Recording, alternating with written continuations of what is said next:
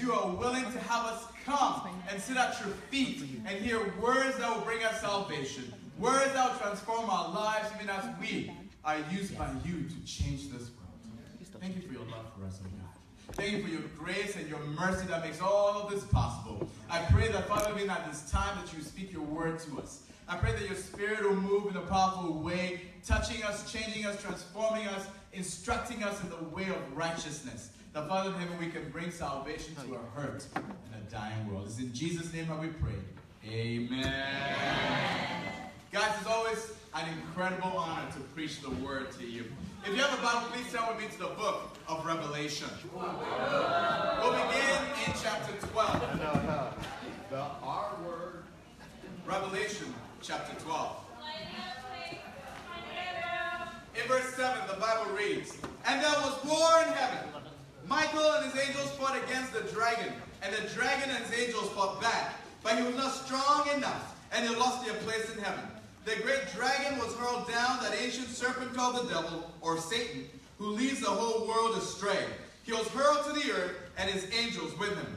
Then I heard a loud voice in heaven say, Now have come the salvation and the power and the kingdom of our God, and the authority of his Christ. For the accuser of our brothers, who accuses them before our God day and night, has been hurled down.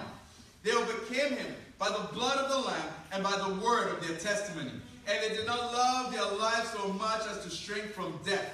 Therefore, rejoice, you heavens, and you who dwell in them. But woe to the earth and the sea, because the devil has gone down to you. He is filled with fury, because he knows that his time is short. Guys, this is such an incredible passage. You see, sometimes people like to ask the question, if God is God and the King of the universe, why is the world so messed up? Yeah. Why is there so much crime? Why is there so much poverty?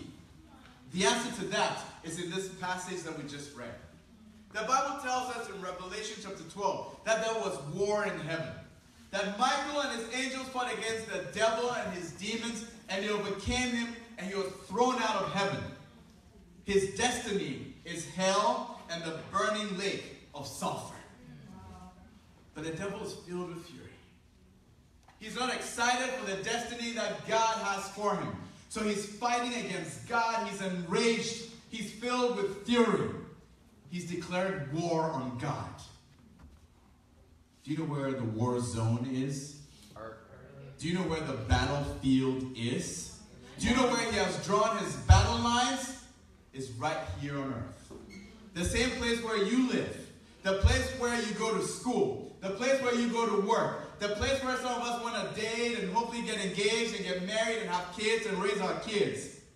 This is the war front. This is the battlefield. And the title of our lesson today is This is War. Come on, bro. Yes, it is. Light it up. The Bible tells us that we are at war. That we're not living easy lives, comfortable lives like we think we deserve or like we think we should. Because we're living on a battlefield. We're living in a cosmological, spiritual battle. And what's at stake? The souls of mankind. Your soul and the souls of everybody you hold dear is at stake. Paul describes this war for us. Turn with me to Ephesians chapter 6. Come on, bro. Come on, bro. Come on, bro. Ephesians chapter 6. Verse 12 reads, For our struggle is not against flesh and blood, but against the rulers, against the authorities, against the powers of this dark world, and against the spiritual forces of evil in the heavenly realms.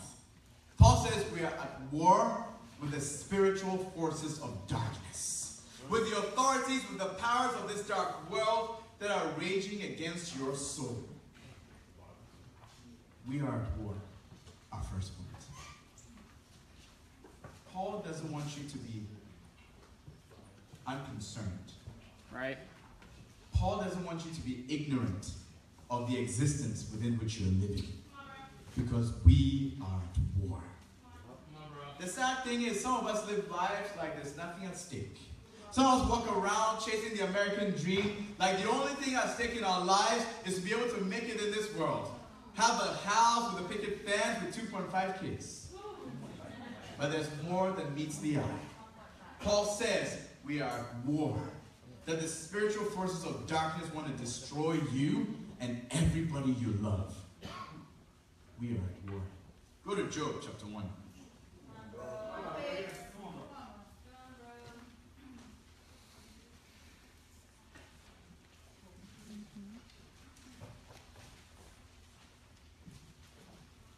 Job chapter 1. Verse 6 reads One day the angels came to present themselves before the Lord, and Satan also came with them. The Lord said to Satan, Where have you come from? Satan answered the Lord, From roaming through the earth and going back and forth in it. Then the Lord said to Satan, Have you considered my servant Job? There's no one on earth like him. He is blameless and upright, a man who fears God and shuns evil. Does Job fear God for nothing? Satan replied. Have you not put a hedge around him and his household and everything he has? You have blessed the work of his hands, so that his flocks and herds are spread throughout the land. But stretch out your hand and strike everything he has, and he will surely curse you to your face. This is such an intense passage.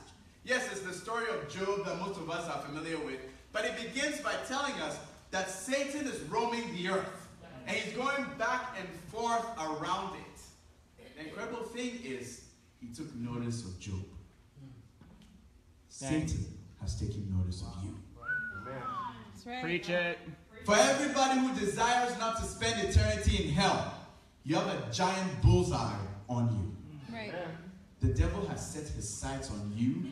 He's going to kill you. He's going to destroy you. And he's going to destroy everything you hold dear. And after he's done, he's going to drag your soul into hell with him for eternity. And so he's roaming the earth to find other human beings just like you. He's taking notice of you. Go to Job chapter 2. Come on, bro. Verse 1.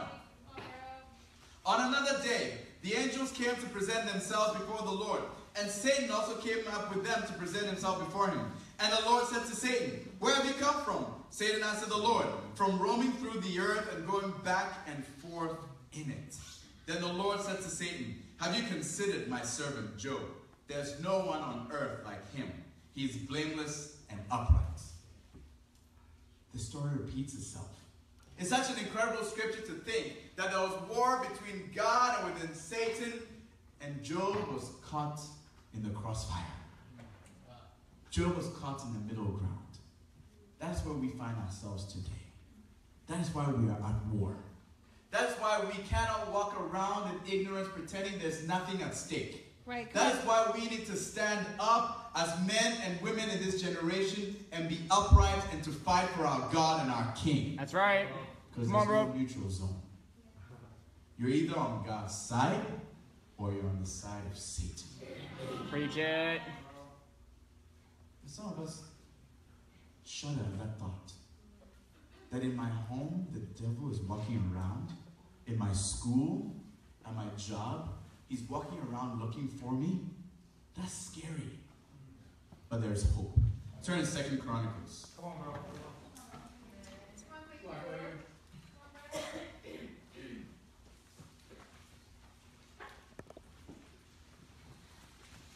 Chapter 16.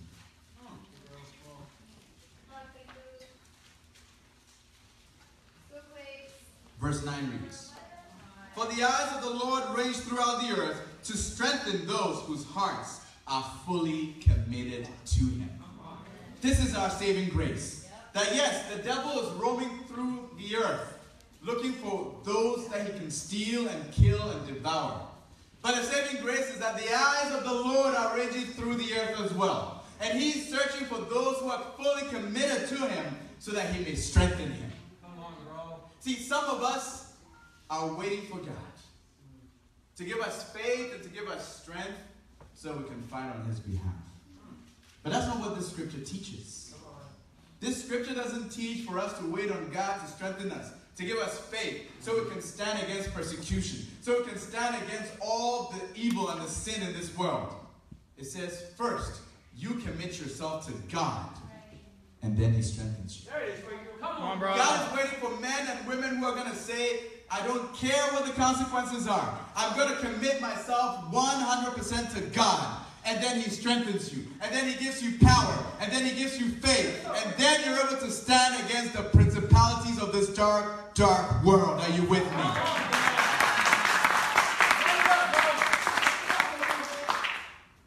There is no neutral zone.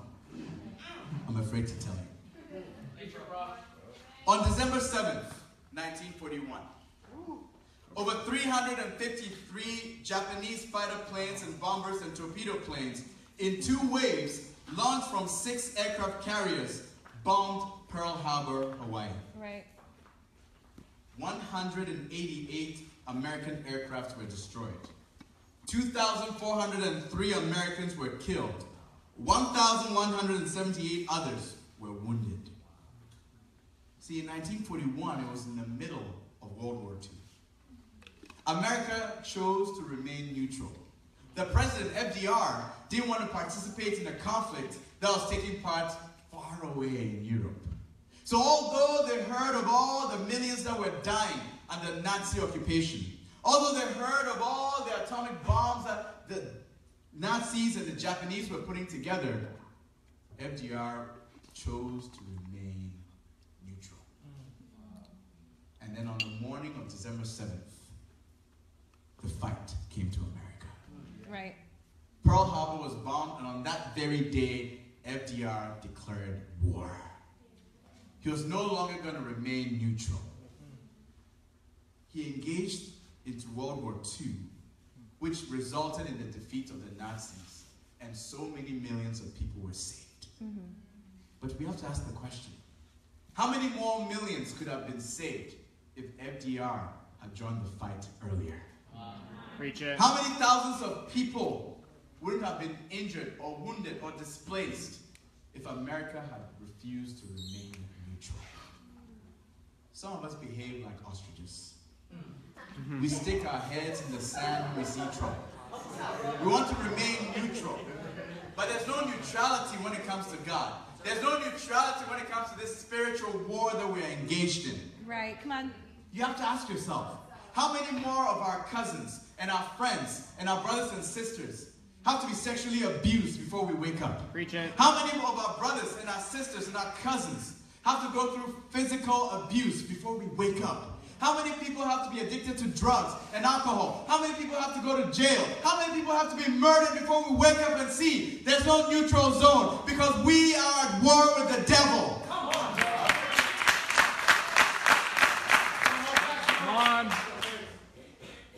Some people think it's not our fight. But let me tell you something. Satan has declared war on you. Right. How do you know? See, on that day, when you were maybe 9 or 10, 11 or 12, when that first temptation to be impure, or to look at pornography, or to steal something, or to be selfish, or to be prideful, and you gave into it, defiling your conscience for the first time. That was your Pearl Harbor. That was the day the devil made you know that he was declaring war on you. Come on, bro. Right. The first day you tried marijuana, the first day you tried alcohol, that was the day that the devil was saying, You are marked for destruction. I'm going to drag your soul to hell with me. Come on. So if you think you're in neutral ground, you're deceived. The devil's already waging war on you. He's already dragging your soul into hell. Mm-hmm. What we need to do? We need to stand up and fight. That's right. You see, the time for reflection, introspection, discussion, and dialogue is already gone. It is time to stand and to fight because the battle rages on and the war has already started. What do we need to do? Our second point Come on, bro. Prepare for war. Come on, bro. First Peter chapter 5. Come on, Kwaku. Go on, Kwaku. Get him, Quake. Wake it up, bro. First Peter chapter 5. Verse 8 reads, Be self-controlled and alert. Your enemy, the devil, prowls around like a roaring lion, looking for someone to devour. Resist him, standing firm in the faith, because you know that your brothers throughout the world are undergoing the same kind of sufferings. Right. Isn't it intense that the theme continues throughout the Bible? That the devil is prowling around the whole world, and so all men all over the world are going through the same temptations and the same sufferings that you're going through. The Bible is true. The devil has declared war on you, and he's roaming throughout the earth trying to destroy you. Preach it. What's the advice of Peter? Stand firm in the faith. Resist him. Stand your ground. How do we stand our ground? How are we going to resist the devil who wants to destroy me and destroy my family and destroy all those I love? Well, I need to be ready with the full armor of God. Because nobody goes into battle without battle gear. No one goes into war without armor. Go to Ephesians chapter 6. Come on, bro. Come on, bro. Bro. Show me the way, bro. Set it up, bro. Let's pick it up in chapter 6. Verse 13 reads, Therefore, so why is it therefore, therefore? Therefore, since we know that we are at war, this is what we need to do. Verse 13. Put on the full armor of God, so that when the day of evil comes, you may be able to stand your ground, and after you have done everything, to stand. Stand firm then with a belt of truth buckled around your waist, with a breastplate of righteousness in place, and with your feet fitted with the readiness that comes from the gospel of peace. In addition to all this, take up the shield of faith with which you can extinguish all the flaming arrows of the evil one. Take the helmet of salvation and the sword of the Spirit, which is the word of God and pray in the Spirit on all occasions, with all kinds of prayers and requests. With this in mind, be alert and always keep on praying for all the saints. Paul sets it up for us. Make sure you are ready with the full armor of God every single day. Right. It's incredible because most historians and commentators will tell us that Paul wrote the book of Ephesians while he was in a Roman dungeon. And so, possibly, as he's chained to the dungeon and he looks at the Roman soldier who's guarding him, he notices that this Roman soldier is physically prepared for battle. He has his helmet on, he has his breastplate on, he has his belt on, he has his shield, he has his sword, and he has his boots on. And Paul is basically telling us if this Roman soldier is prepared for battle, how much more should the disciples of Jesus be spiritually prepared for battle? Come on. If this Roman soldier has in his hand the shield and the sword, how much more should the disciples of Jesus have on the shield of faith and the sword of the Spirit to be able to wage war against this dark world for our King and for our God? Every single day, we need to prepare ourselves to go into this world because we're on a battlefield.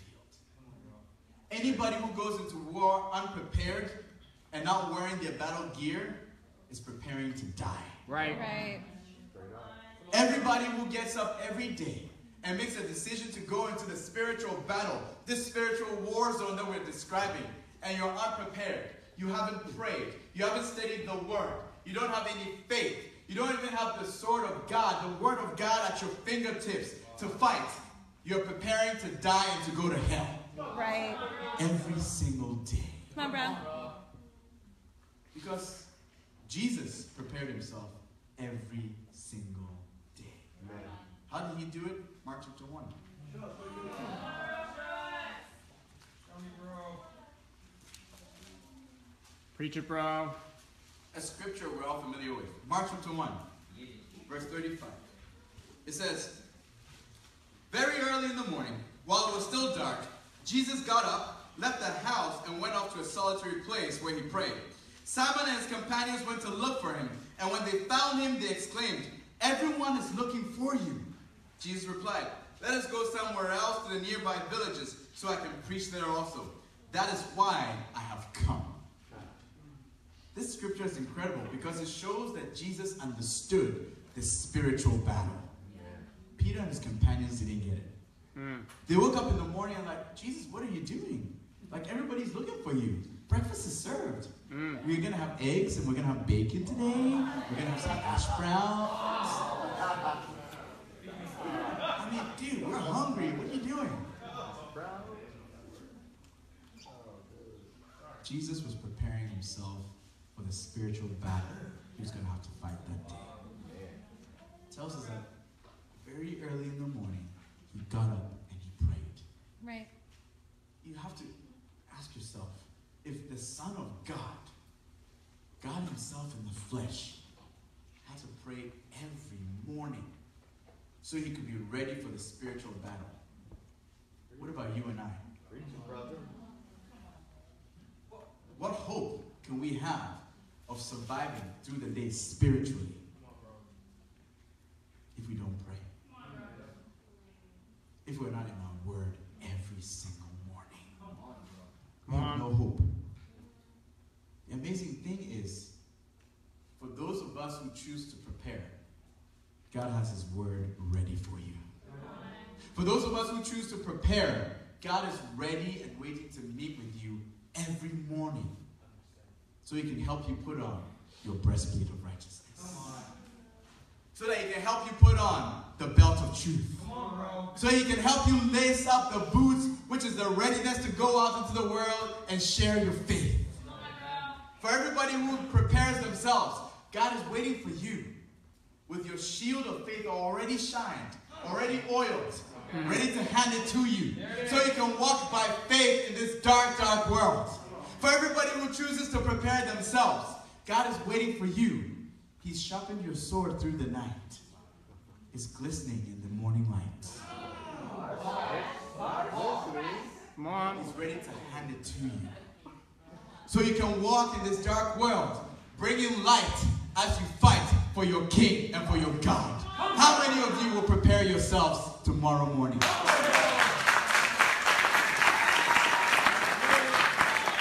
bro. Come on. It's amazing. Because on May 13th, 1940, an incredible man, Winston Churchill, gave his very first address to Parliament. A couple days before he'd been elected to Parliament, and the nation, England, was embroiled in World War II. There were bombs dropping on people's homes.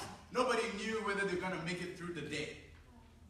You had no idea when a German U bomb was going to drop down on your house, killing your dad, your mom, your brother, your sister. This is what he said for his first speech I have nothing to offer but blood, toil, tears, and sweat. We have before us an ordeal of the most grievous kind. We have before us many, many long months of struggle and of suffering. You ask, what is our policy? I can say, it is to wage war by sea, land, and air with all our might and with all our strength that God can give us. To wage war against a monstrous tyranny, never surpassed in the dark, lamentable catalog of human crime. That is our policy. You ask, what is our aim? I can answer in one word. It is victory. Victory at all costs. Victory in spite of all terror. Victory however long and hard the road may be. For without victory, there is no survival. Winston Churchill's words are intense because he felt that they were fighting the worst war that humanity would ever face. But he was wrong.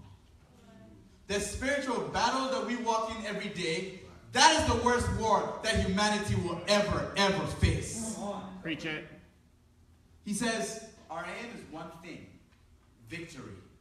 Victory at all costs, because without victory, there is no survival. That's the aim we need to have. If we are not victorious over the powers of darkness, there is no survival. And it's not a matter of life and death. That's easy.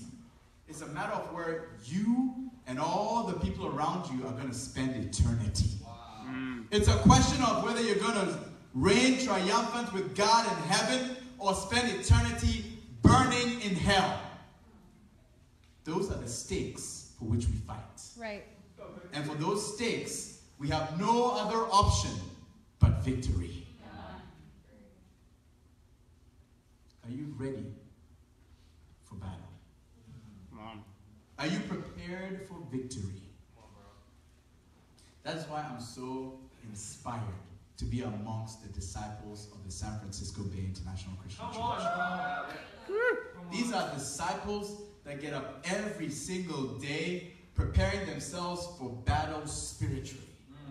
These are disciples that go into their classrooms, into their campuses, into their workplaces, ready to do battle for their God and for their King. Ready to slash and to swish with the sword of the Spirit. Come on, Kwaku. Ready to hold up the shield of faith so we can put away all the burning arrows of the devil all the persecution that may come our way, all the temptations to sin that may come our way, because we are prepared for war and we are fighting for our King and our God. These are the disciples in this church. Come on. That's why I'm honored to be numbered amongst your number. Come But in every war, we must understand that there are going to be casualties. Our third point the casualties of war. Come on, bro. Turn to Luke chapter 11.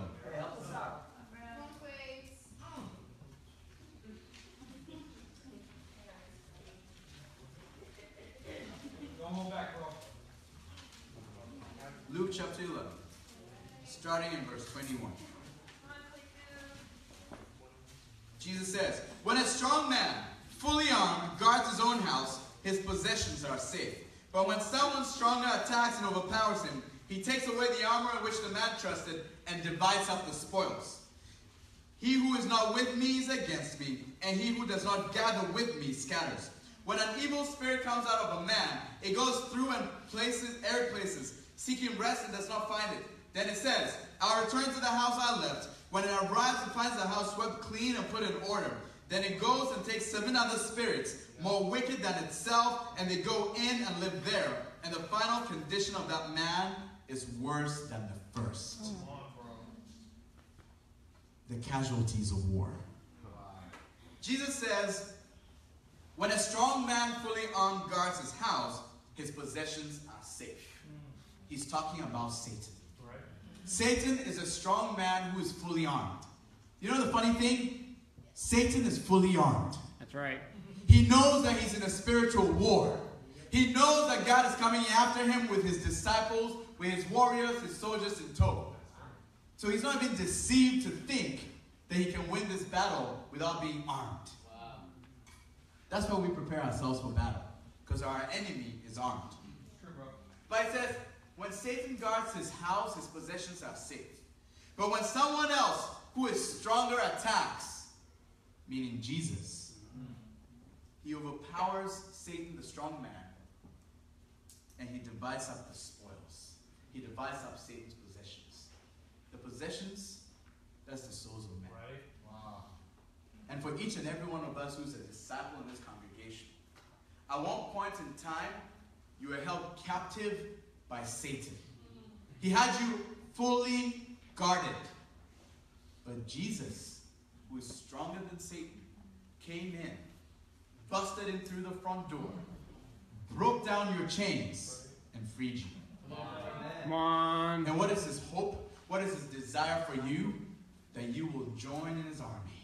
That you will arm yourself with the full armor of God and you will join in Jesus' victorious army to liberate one more soul from the possession of the devil. Mm-hmm. You see, for every new disciple that repents and is baptized, that's a casualty on the devil's side. But the intense thing is, just like Jesus says, when an evil spirit comes out of a man, it goes through arid places. Then it returns to the place it left, seeing that the house has been swept clean. And does he just go back in? No. He goes and he takes seven more spirits, more evil, more powerful than he is, and they go back in there. And so the second state is worse than the first. Wow. Satan is not an idiot. Mm. Once Jesus has liberated us, he goes round gathering seven more powerful demons to come back and to take you back home with him. He's not going to sit back at the casualties he's losing. Mm-hmm. He's coming back for you Wow. in a worse way. Amen. So sometimes people become disciples and you're like, wow, I'm struggling more with sin and temptation now than I did before I was a disciple. The persecution I'm going through right now is, oh my gosh, it was easier before I was a disciple. Yeah, the scriptures are true. The devil is coming back. Yes, seven bad friends with him. Wow. Their objective is just one thing. We're taking you back to the gates of hell. Right. That's why it's worse for you now. That's why it's harder. That's why it's more intense. The incredible thing is, says when the devil comes, he finds that the house is swept clean, but it's vacant. What Jesus is trying to see, trying to say to us is, after he liberates you, if you don't fill yourself up with God's word, if you don't have the breastplate of righteousness, the shield of faith, if you don't have in your right hand the sword of the Spirit, you're in big trouble. Come on. He's going to come and drag you back. We need to stand shoulder to shoulder with the warriors of God. Amen. We need to stand arm in arm with the army of God, fully armed, fully clothed with Jesus, so we can stand the attacks that are bound to come tomorrow and the next day and the day after until Jesus shall come back and take us home. Go to John chapter 6. Come on, bro. Come on, bro. Light it up, bro. Come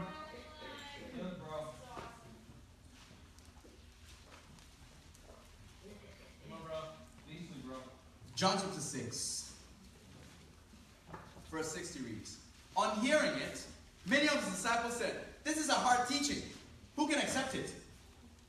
Aware that his disciples were grumbling about this, Jesus said to them, Does this offend you? What if you see the Son of Man ascend to where he was before? The Spirit gives life, the flesh counts for nothing. The words I've spoken to you are spirit, and they are life. Verse 66. From this time, many of his disciples turned back and no longer followed him. You do not want to leave too, do you? Jesus asked the twelve. Simon Peter answered him, Lord, to whom shall we go? You have the words of eternal life. We believe and know that you are the Holy One of God. You see, in Jesus' ministry, there was a time when many of his disciples turned back and refused to follow him. Amen. Why? Because they thought it was too hard. Right. They thought it was too difficult being a disciple of Jesus. So they turned back and they walked away. They went back into the darkness. The devil came back with seven more demons and they took him on back. What was Jesus' attitude? Did he chase after them begging? Please don't leave me. I love you. Don't leave me. No. Jesus was like, Does this offend you? Mm. Right. That discipleship is hard? That you have to get advice? Does this offend you? That you can't do the things that you'd rather do and you actually have to deny yourself? Does this offend you? That you actually have to carry your cross and follow me daily? Does this offend you? That you have to go tagging so that somebody else can have the message of salvation? Right. Does this offend you? Wow. He's like, if this offends you, what will you do when it's harder teaching? When I actually require you to walk in my footsteps all the way to the cross. Come on, bro. The intense thing is, he watches hundreds of his disciples walk away. And then he turns to the 12, the apostles, the leaders, those who had shown themselves faithful for the last three years with him. And what does he say to them? Please, don't go. You guys should stay with me. I mean, we're close, right? Come on. John?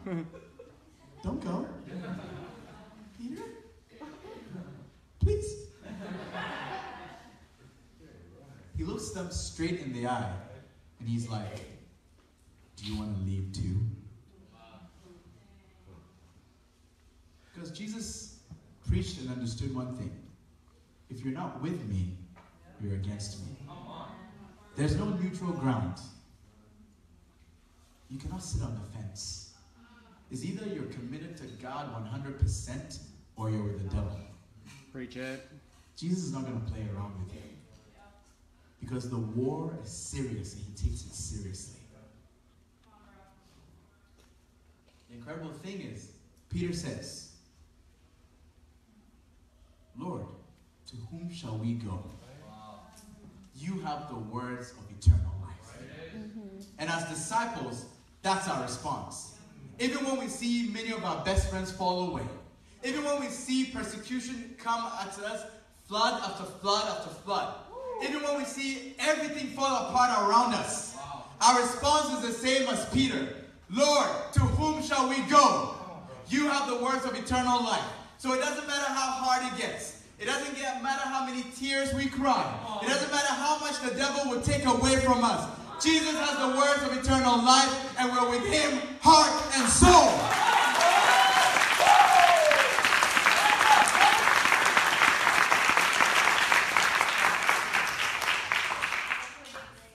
Let's talk real quickly about friendly fire. Go to Acts chapter 20.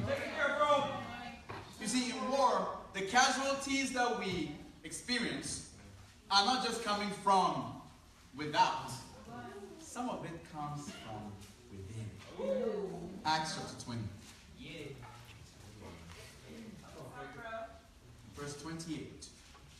This is Paul speaking to the Ephesian elders. They're on the beach. And these are incredible men and women that Paul has raised up in the faith, some of whom possibly he himself baptized. Some of his best friends in the world. He says to them in verse 28 Keep watch over yourselves and all the flock of which the Holy Spirit has made you overseers. Be shepherds of the church of God, which he bought with his own blood. I know that after I leave, savage wolves will come in among you and will not spare the flock. Even from among your own number, men will arise and destroy the truth in order to draw away disciples after them. So be on your guard. Paul's not deceived at all. He's like, oh yeah, we're going to endure attacks from without, but we're also going to have to endure attacks from within. Paul is talking to the leadership of the Ephesian church and says, dude, even from among your own number, men will rise up. He's like, some of you I'm talking to right now, some of you are going to leave the way of truth. You're going to be deceived and you're going to try and deceive other disciples and take them out with you. Some of you are going to become agents of Satan. And it's not harsh for him to say that, because that was essentially what Jesus was saying in John chapter 6. When he said, Do you guys want to leave too? Does this offend you? And so Paul can say, Some of you, right here that I'm talking to in this room, are going to become agents of Satan. Wow. Does this offend you? Keep it real. Yeah. And the sad thing is, we read about the Ephesian church in Revelation. Right. Because Paul was right. False teachers rose up in that church from among their own number. We have to be on our guard, just as Paul says, against attacks from the enemy without Satan. And yes, we have to be on our guard against attacks from within. Keep it There are going to be times when disciples are going to hurt you. There are going to be times when disciples are going to say some things that are going to really, really challenge your faith. And you're going to wonder, I don't know if I want to be a member of this church anymore. Talk about it, bro. There are going to be some times when your roommates may say some things which is going to be super off color. And you're going to wonder, why am I even here? My parents were right. This is a cult. They're only here to take my money and to use me. I should go back on home. Mommy loves me. Mommy will never treat me like that.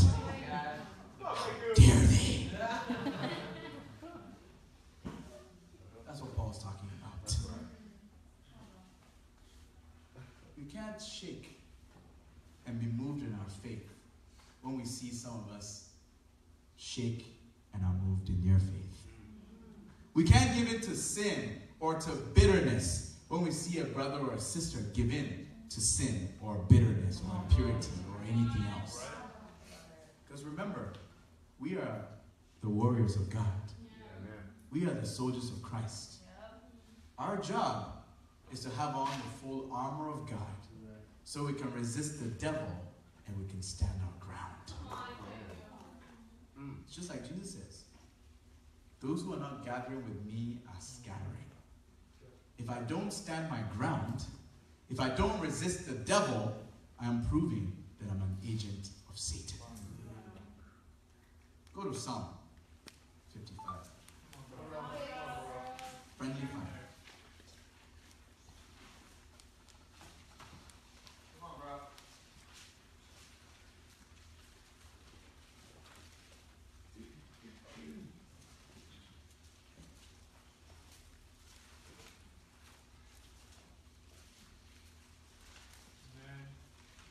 Psalm 55. In verse 12. If an enemy were insulting me, I could endure it. If a foe were raising himself against me, I could hide from him. But it is you, a man like myself, my companion, my close friend, with whom I once enjoyed sweet fellowship, as we walked with the throng at the house of God. David understood how it hurt when your best friends, even in the kingdom, turn their backs on God. He's like, if an enemy from without was attacking me, I could endure it. If somebody who says they hate me was saying bad things about me on the internet, I could endure it. He's my friend. He hates me. But when it's you, my brother, my sister, my friend, whom I used to enjoy sweet fellowship. I used to walk into church every Sunday waiting to give you a hug. Waiting to see what incredible victories God had worked through your life this week. When you turn your back, wow, it hurts. So, as disciples, we can't turn our back. We can't join the devil's side. We cannot become one of the agents the devil uses. We need to be like Paul. Need to be like David, who choose to stand their ground even when others turn their back. Who choose to resist the devil even when others turn their back. I remember in 2008, I had the opportunity of being on the New York City mission team. Come on. And our, our lead women's ministry leader, Sarah, was on that mission team as well. Come on. We had a team of about 20 young men and women, and our task was to go evangelize all of the over 18 million inhabitants of New York City. 20 people, 18 million people. Incredible odds. Just the kind of odds God likes. Yeah. So we go to New York full of zeal, full of faith. We're going to build a church here that's going to number thousands. It's going to be so amazing. Within the first week of the mission team landing there, Shaman Grima, one of the mission team members, and the wife of George Grima, our shepherding couple, slipped on her kitchen floor, fell, and broke her back. She was confined to a wheelchair for the rest of her life. Wow. Mission team. To the heart of darkness, to set the captives free.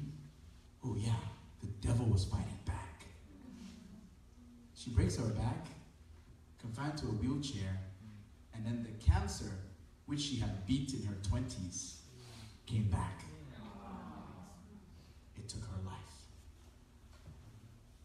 A mission team of 20, we had to bury one of the mission team members Well, on the mission field.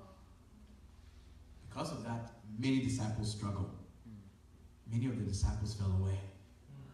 Some got up and they're like,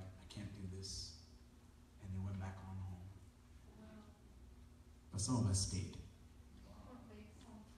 Some of us chose to fight through it. Even when our evangelist fell away from the truth. And as disciples, we were orphaned. Our leader fell away. Keep it real. But some of us chose to stand our ground.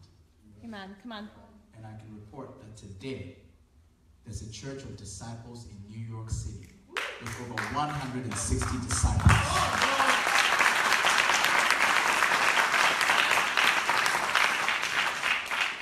The message from God's word is clear. Stand your ground. No matter what the devil will throw in your face, stand your ground. Because the souls of men and women, and even your own soul, is at stake. Let's close out. Our fourth and last point. To the victor belong the spoils. Come on. 1 Corinthians chapter 15. Yeah. Come on, Kwaku.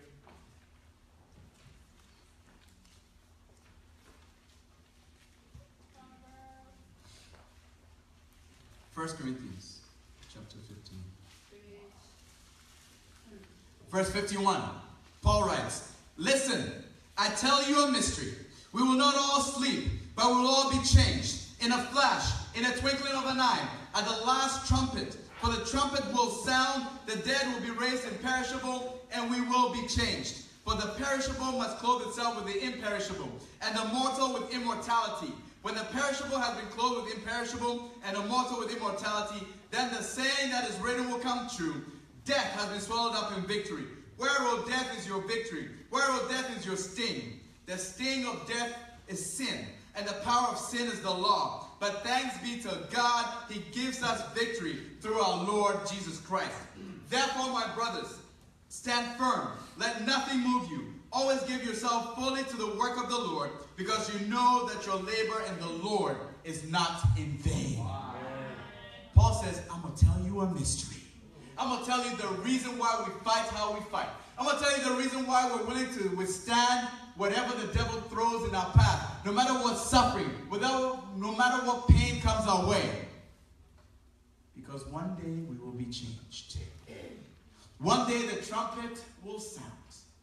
And those of us who are mortal will be transformed and will celebrate in immortality. We that perish will be transformed imperishable. And he says we will join the victory of Jesus Christ. We will get a chance to be on the winning side. Why? Because we know how our existence is going to end.